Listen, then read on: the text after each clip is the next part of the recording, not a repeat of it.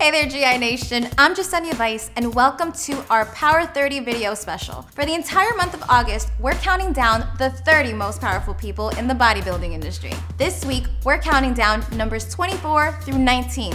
Let's get into it.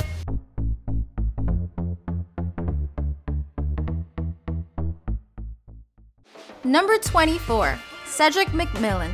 Cedric is an Arnold Classic champion and one of modern bodybuilding's strongest contenders for a return to a more classic physique. When Arnold Schwarzenegger declared Cedric to be exactly what he looks for in bodybuilding, it sparked industry wide controversy, which led to a change in Arnold Classic judging as well as the introduction of the Classic Physique division. Number 23, Oksana Grishina. Oksana is both a Miss Fitness Olympia and an Arnold Classic champion.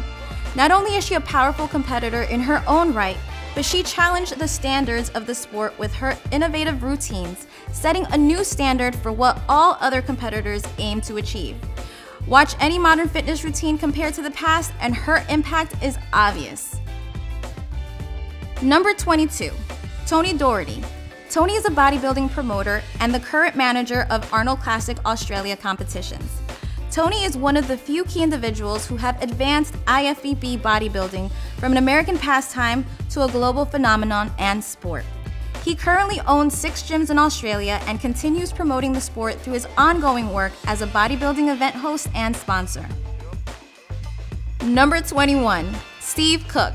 Steve comes in at number 21 on our list for his massive mainstream appeal and his overwhelming influence on bodybuilding culture and industries. Steve is sponsored by Optimum Nutrition and has his own line of apparel and workout gear and is a full time director at the Big and Lean fitness programs. Number 20, Hani Rambod. Hani is one of the top trainers in the business. Nicknamed the Pro Creator, Hani is the current trainer of Phil Heath and a trainer of past Mr. Olympias like Jay Cutler. He is the only trainer in history to have worked with two Olympia competitors and is well known for the FST 7 training program which he developed. And finally, number 19, James Grage. James rebuilt his amazing body after a life threatening car accident that left most of the bones in his lower body completely shattered. He then went on to become the executive vice president of BPI Sports, one of the largest distributors of supplements and workout gear in the world. This about wraps us up for this week's entry in our Power 30 list. Check back with us next Friday for our next round of the countdown. You can also check out our full breakdown of our Power 30 list only on GenerationIron.com. Until next time, I'm Jasenia Vice. Peace out.